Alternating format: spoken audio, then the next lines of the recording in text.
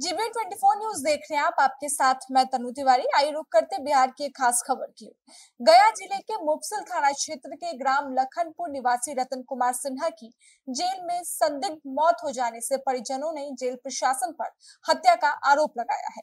आक्रोशित होकर शव के साथ अनुग्रह नारायण मगध मेडिकल कॉलेज अस्पताल के गेट पर रखकर सड़क जाम कर दिया। साथ ही सभी लोगों ने न्याय की गुहार भी लगाई है। वही मृतक के भाई ने कहा कि मेरे भाई को झूठी केस में फंसा कर जेल भिजवा दिया गया था। आज तड़के करीब पाँच बजे जेल से कॉल किया गया कि आपके परिवार के जो लोग हैं, उनकी तबियत बिगड़ गई है। मगध मेडिकल कॉलेज अस्पताल में आए तो अस्पताल के कर्मियों ने कहा कि दो सिपाही इनको यहाँ छोड़कर चले गए। जेल में ही इनकी मृत्यु हो गई थी। इनका ईसीजी भी किया गया था, जिसमें इनकी मृत्यु की पुष्टि हो चुकी थी।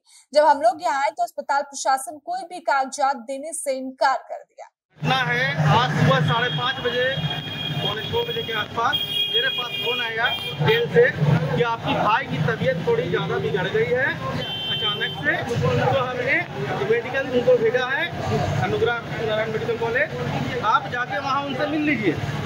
मैं हड़बड़ में यहाँ पे आया। मैंने आते ही देखा कि बेंच पे उसी तरह से मेरे भाई को लिटाए हुए हैं और हाथ पे ऐसे पड़ा हुआ है। जब हम पूछे यहाँ नर्स से तो नर्स बोली कि जेल से आया था तो सिपाही, वो यहाँ ऐसे रख के और चला गया। ये ऑलरेडी जेल से ही डेथ हो जेल में ही डेथ हो गया था इनका। उसके बाद यहाँ पहुँचे। अभी जब हम एसीजी रिपोर्ट मांग रहे हैं यहाँ एसीजी हुआ था ऑलरेडी एसीजी में साफ़ पता चल गया था कि डेथ किए हुए हैं पहले से। अभी जब हम एसीजी रिपोर्ट मांग रहे हैं तो यहाँ मेडिकल में नहीं दिया जा रहा है कि आपको एक कागज़ भी नहीं मिलेगा। किसी प्रकार का कोई कागज़ नहीं मिलेगा आपको। आपको जो करना है कर लीजिए। और बहुत अशब्द बात बोल रहे हैं ये लोग। असभ्यता से बात कर रहे हैं। इधर तक बोलिए? अच्छा, किस लिए जेल में थे? कब से जेल में तो क्या जेल में हमारा पैसा निकलता है अजय कुमार और मुंदिर सिंह। ये दोनों पुराना छटा हुआ बदमाश है क्रिमिनल है एक नंबर का। उसके पास हमारा पैसा निकलता है, जिसके बिहार में हमने कोर्ट में केस किया था। नवंबर महीने में एक अक्टूबर नवंबर महीने में केस किया हमने कोर्ट से किया। मुफस्सिल थाना में हमने ये आवेदन भी दिया था, कि सर हमारे हमारे भाई ने आवेदन दिया था, कि उसको धमकाया जा रहा था, मारने का धमकी दिया जा रहा था। उसके बाद हमने थाना में कोर्ट ये कोर्ट में केस किया।